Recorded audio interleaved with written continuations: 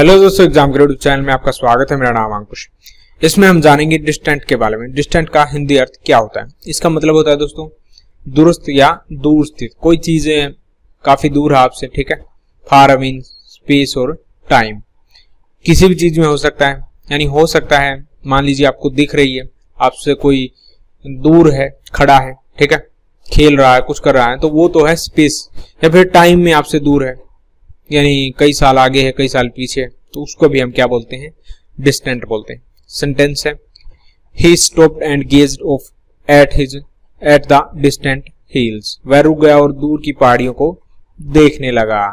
ठीक है? तो किसी चीज़ का दुरुस्त होना या दूर स्थित होना क्या कहलाता है? डिस्टेंट कहलाता है। वीडियो पसंद आए तो लाइक शेयर सब्सक्राइब ज़रूर करें। Thanks for watching